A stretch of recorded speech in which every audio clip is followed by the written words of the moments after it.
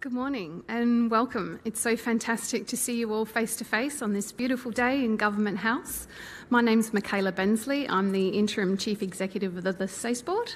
Um, and before we commence the official proceedings, I'd like to just acknowledge that we meet on the land of the Kaurna people and that their spiritual relationship to the land is as important today as it always was and always will be. We pay deep respects to the elders, both past, present, and emerging, and we thank them for allowing us to meet on this land. Just some housekeeping before we get into the great uh, event of celebrating the achievements of these young people to our left. Um, in the uh, rare event of evacuation, there's emergency wardens and they'll escort us out in a safe way. Toilets, if you need them, are to the left. Uh, there'll be a photo taken of every recipient. How to access those photos are in the front cover of your booklet. You can also follow the instructions that come with the QR code. Um, there'll be an opportunity after the formal event to wander around the grounds and take photos wherever you like, particularly in front of Government House, seems to be a popular spot. Um, the event is also being streamed live at the moment, so it'll also be on our website. Uh, we'll put that up next week. Um, and just make sure that your phones are on silent. So, distinguished guests, ladies and gentlemen, families, parents, and most importantly, the merit recipients of 2021. I'm really delighted to be able to welcome you all to the SACE Merit Ceremony. Fantastic to be able to meet here on these grounds and have a face to face event on a beautiful day like today. I'd like to also just acknowledge that we're lucky enough to be able to meet on these grounds and thank the, uh, Her Excellency the Honourable Frances Adamson for the generosity of allowing us to meet here today. This is the 34th event that we've been able to host on these grounds, so we're really fortunate and supportive of that relationship. I'd like to really uh, acknowledge the huge effort of our SACE Merit uh, recipients. Um, over the next two days, we're holding kind of nine sessions to celebrate these students. They're 100, like 1,016 students who've received over 1,280 uh, merits across a huge range of subjects all their hard work and persistence is really evident in the excellence that they've been able to achieve, and they've been the highest performing students in these subjects areas. So, congratulations for all the hard work that's gotten you here.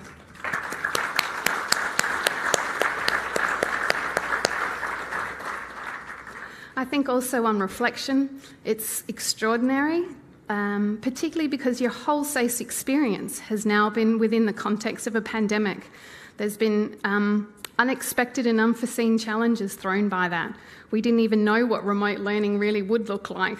I never really used to Teams until three years ago, and now that that's the main way we do, we do our work. So, really recognizing that within that level of complexity around being able to pivot and change, and um, yeah, some of the uncertainty that brought, I think that your achievement is even um, more profound and really deserving of the celebration we have today. Obviously, individual achievement usually doesn't happen on its own, so I'd like to really recognise the support of your support mechanisms, your family, your parents, not um, least of which also your teachers, that were able that were able to support you to the success that you've achieved throughout uh, your Year 12. Um, and also just recognise that having achieved the SACE, the culmination of 13 years of schooling, the opportunity that that provides to open doors for you and lead you to whatever passions and drive that you have in the future in terms of whatever direction that you're heading. I'm hopeful that you've also been able to, given that we're halfway through this year, been able to really experience a little taste of what your future might look like. Um, so I want us all to just recognise the huge achievement of these students. Congratulations, you finished school, you've got your SACE, and you also achieved excellence in at least one subject. So, congratulations to you all. Well done, you did it. so, again, thank you. I'd like to introduce uh, uh, Virginia Thompson, who's one of our faculty managers, who'll introduce our guest speaker and guest presenter for today, and then we'll start the ceremony in terms of the um, presentation of certificates. So, thank you again. Thank you, Michaela, and good morning, everyone. My name is Virginia Thompson. I'm a faculty manager for Health and Humanities at the SACE Board of South Australia. And I'm delighted to be here with you today to celebrate the extraordinary achievements of our SACE merit recipients in subjects within the Faculty of Health and Humanities. Now, every year we have a special guest presenter, and in this morning's ceremony, you may feel very familiar with this guest already, despite perhaps not having met her personally. And so it is my great pleasure to introduce our very special guest, Professor Nicola Spurrier, Chief Public Health Officer for the Department for Health and Wellbeing of South Australia.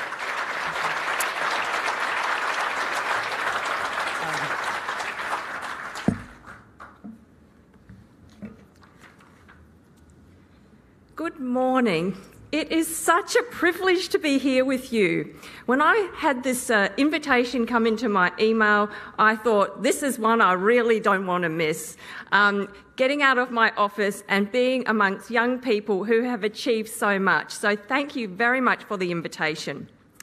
I just would like to acknowledge myself, uh, the Kaurna people, and the lands that we meet on, and also to acknowledge any other Aboriginal person that might be here at this ceremony today. Now, I thought you might be interested in learning a little bit more about me and perhaps where I did my education.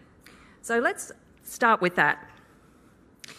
So, one of the things that uh, I have really fond memories about is that my parents placed an enormous value on the role of education and developed in me a love of learning. And I've got a deep sense of connection with my family because of this, and particularly with my parents. Now, I was, a, I was born in Dunedin in New Zealand, and as a little Kiwi, I was taken over to the US, to Albany, New York and I started school there. And in the US, you start school at six, but I was only five. And my mother was very keen that I didn't fall behind when I went back to New Zealand. So I was enrolled in correspondence school. And in those days, that was done over the radio and with snail mail. We didn't have emails, and you couldn't afford to make a toll call on the phone.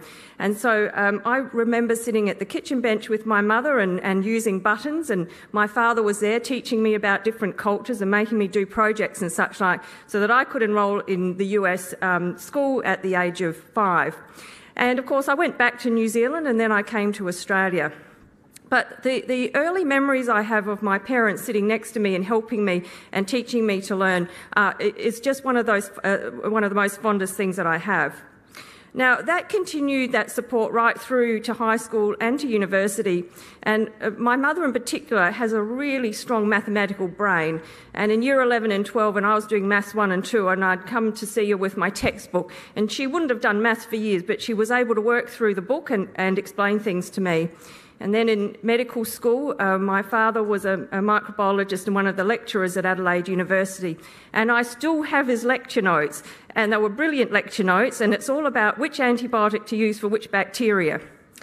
My mother's a pathologist, and one of the other beautiful memories I have at university is uh, my sister and I would be looking at histology slides, and uh, mum would bring in a cup of tea and some bickies, and we'd sit there and have sort of a girls' chat, but be looking at histology slides. So, again, this uh, very close interaction between learning and, and that family life um, really instilled in me this lifelong love of learning.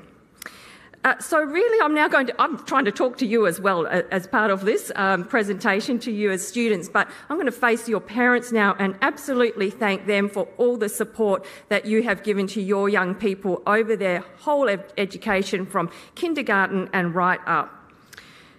Um, but of course, schools and teachers are also incredibly important for ensuring every student is supported. And I'm very proud that in South Australia we had the fewest days of shutdown of nearly all the other Australian jurisdictions.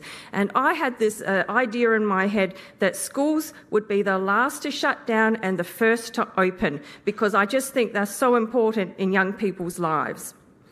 Can I also just briefly thank you for wearing the mask? I know it's a pain in the neck, but also your hand washing. Um, that has been brilliant.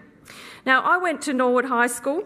Uh, that was actually the first school in South Australia that had a computer, and the computer took up a whole office suite because in those days they were enormous, and there was a, um, a ventilation system that had to run 24 7 because of the heat that this computer generated.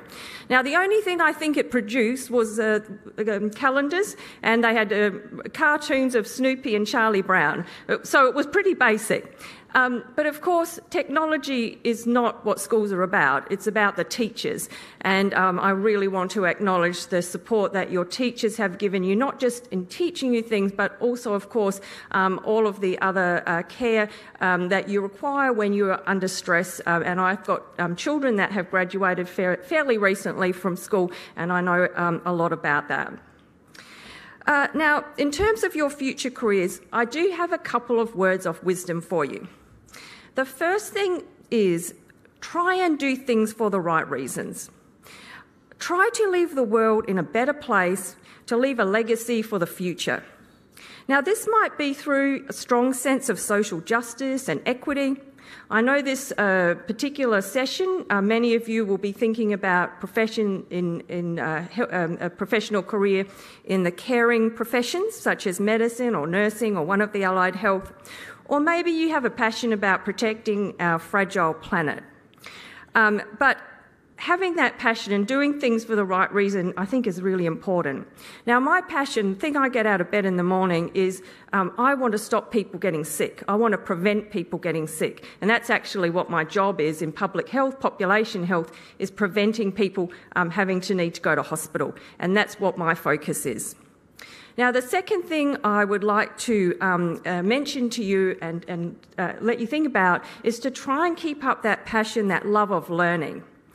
Uh, in 2018, I decided because um, I, you know, keep wanting to learn something new. I got out my oboe. So I, when I was a school student, I'd played the oboe for a couple of years, and just before the pandemic, I managed to sit my grade three oboe exam and pass it.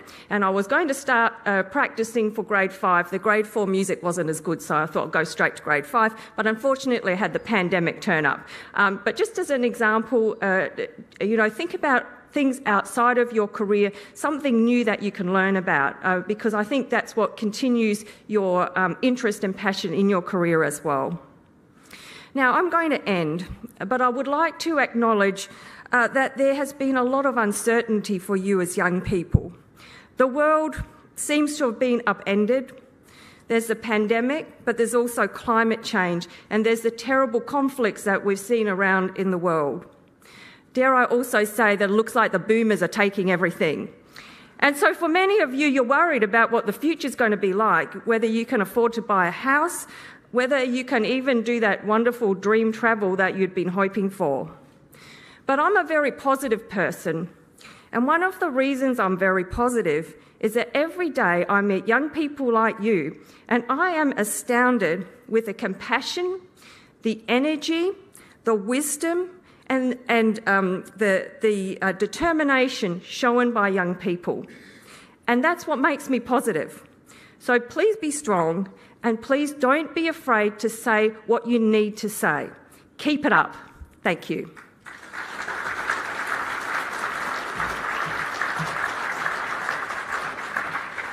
Thank you, Professor Spurrier, for your wonderful address, full of wisdom and passion and warmth. And I love the connection with lifelong learning and education.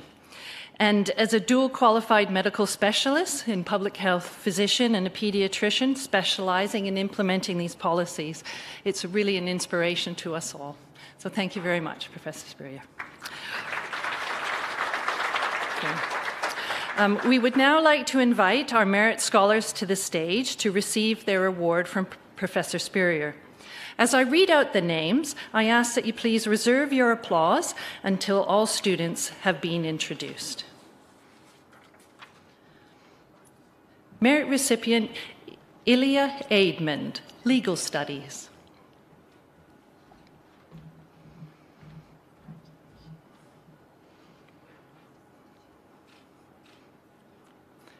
Ardash Anu, Geography.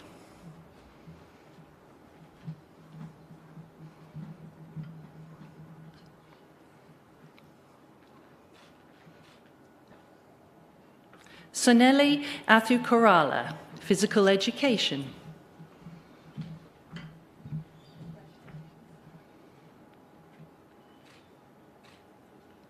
Jake Baker, Religion Studies.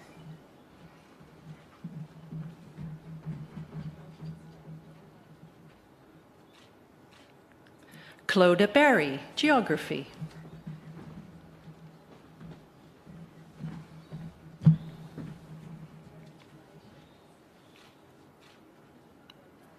Abby Beach, Health and Well-Being.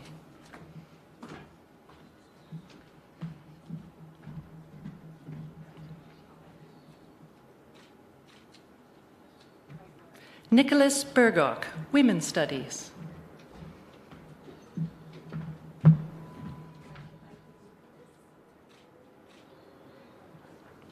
Georgina Birchall, Physical Education.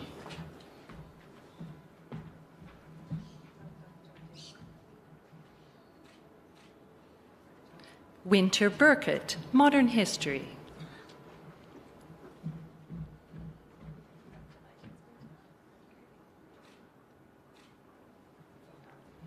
Abby Campbell, Food and Hospitality.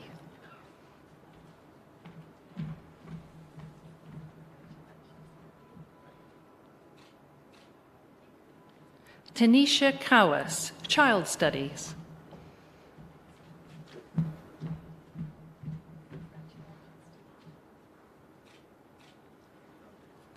Taylor Chancellor, Food and Hospitality.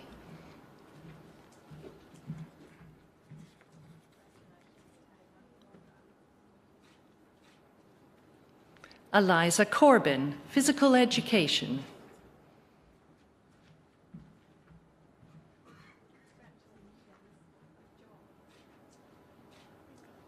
Matilda Cotton, Modern History.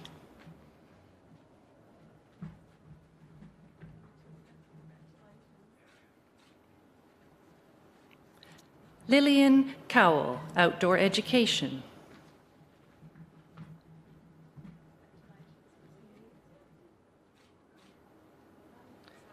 Jenna Cuff, Child Studies.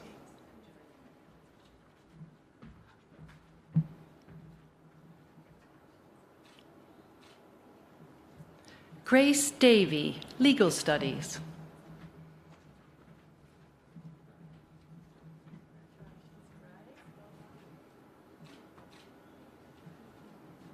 Ella Dixon, Child Studies.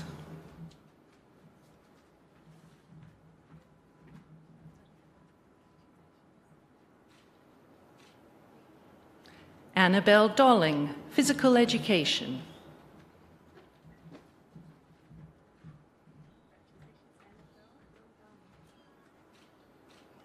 Amelia Dolphin, Physical Education.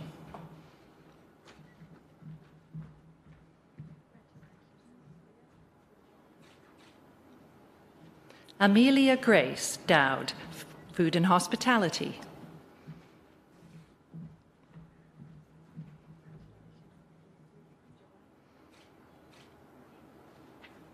Olivia Egar, Modern History.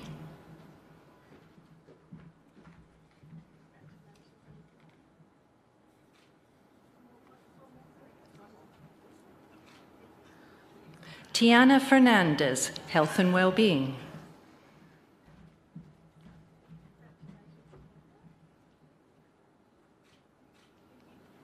Seamus Flaherty, Outdoor Education.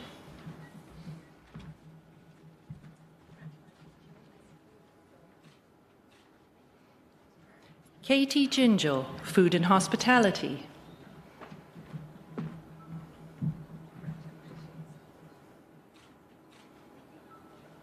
Matt Goldwyn, Legal Studies.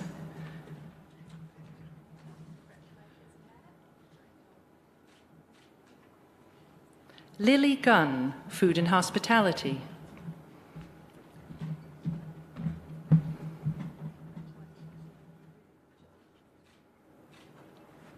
Joanna Haddad, Society and Culture.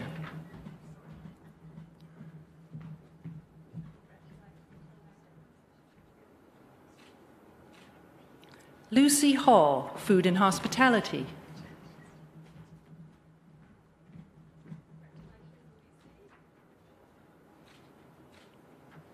Jasmine Janish, Health and Wellbeing.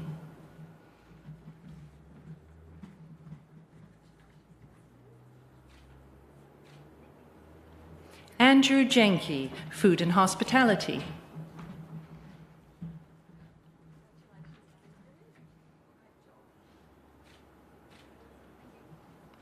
Emma Jolly, Physical Education.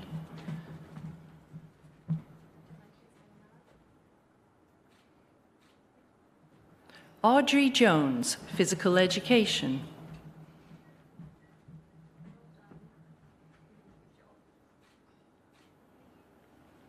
Elena Katsabis, Food and Hospitality.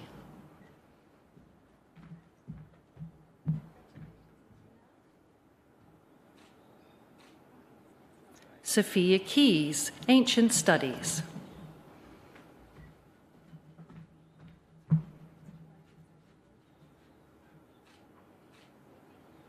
Danielle Kingsland, Food and Hospitality.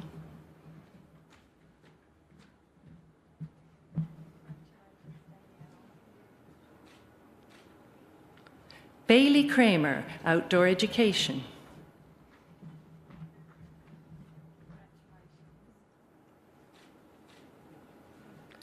Kate Kiros, Geography.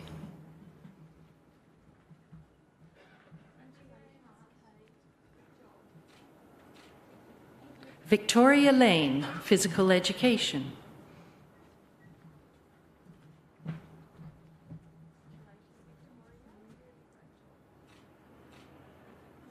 Abby Rose McDonald, Health and Wellbeing.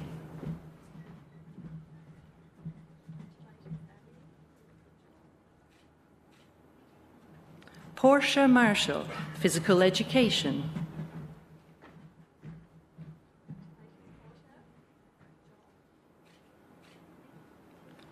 Ellen Mayella, Physical Education.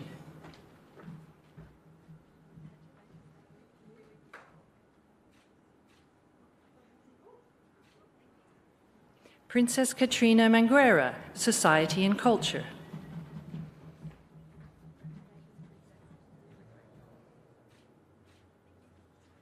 Madison Martin, Child Studies.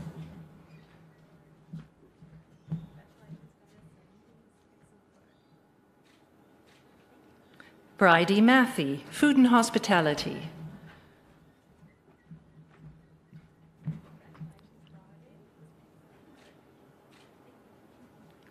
Charles McKay, Economics.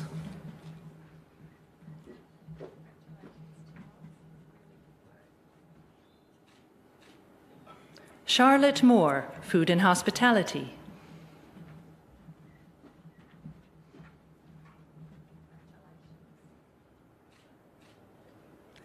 Ellie Morrissey, Religion Studies.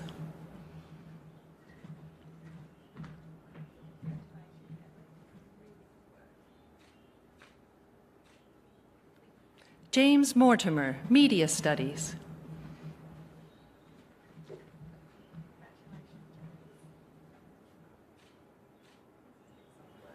Georgia Muir, Physical Education.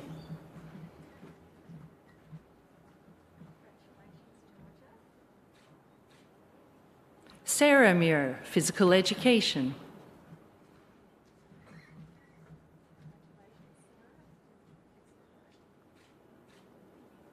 Devika Maherji, Philosophy.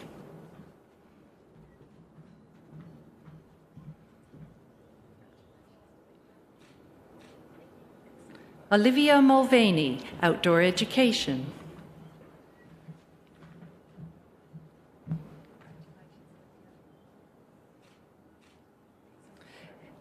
Eveline Akwankwa Nongbera, Health and Wellbeing.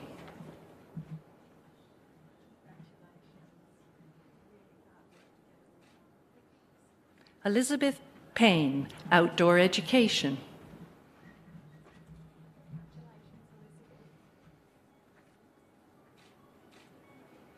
Helena Peters, Food and Hospitality.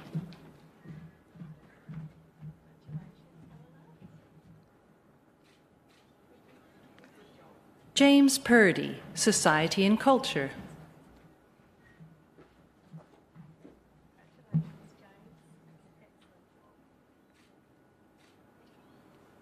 Phoebe Roger, Modern History.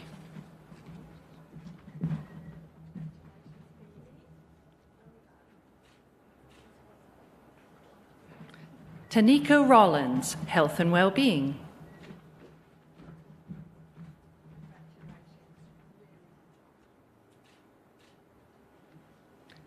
Ella Ross, Outdoor Education.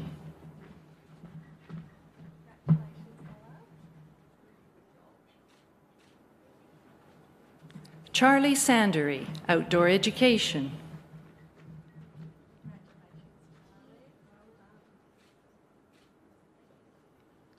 Sophie Smith, Religion Studies.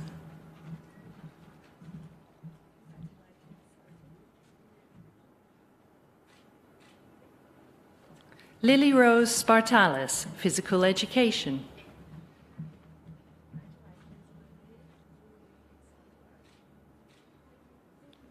Paris Spillane, Health and Wellbeing.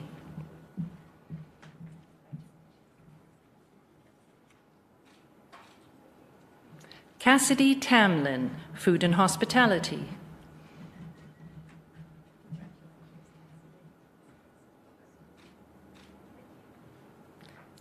Tilley, Food and Hospitality.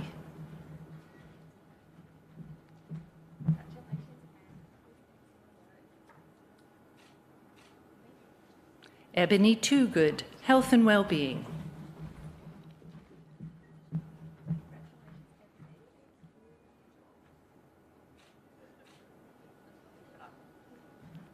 Alyssa Tripodi, Food and Hospitality.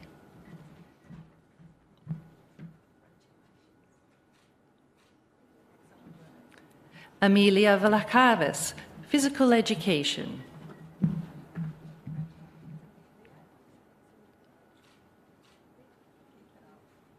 Grace Wakelin, Food and Hospitality.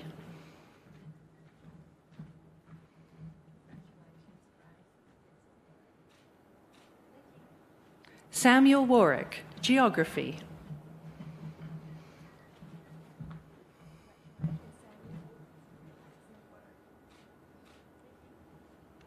Jemima Weiss, Modern History.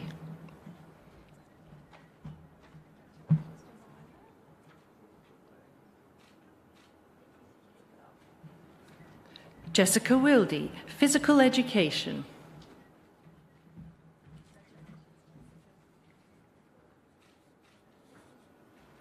Lily Williams, Health and Wellbeing.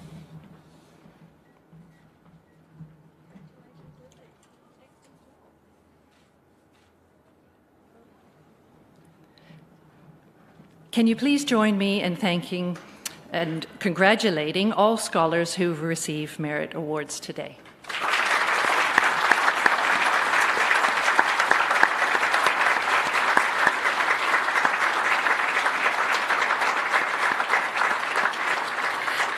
And can you please also join me in thanking our very special guest presenter, Professor Nicola Spurrier.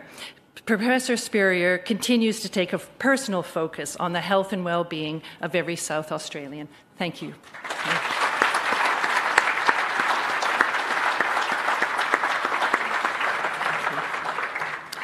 Now, thank you, ladies and gentlemen. This concludes our official proceedings of the 2022 Merit Ceremony presentations to our 2021 merit recipients for health and humanities subjects. On behalf of the SACE Board of South Australia, thank you for attending today's ceremony and for helping make this a very special occasion for young people who have achieved excellence in their SACE. So, congratulations once again to all merit recipients, and please do enjoy the beautiful grounds. The sun has come out for us today, which is wonderful, and to take some very special photographs to capture the moment. Thank you.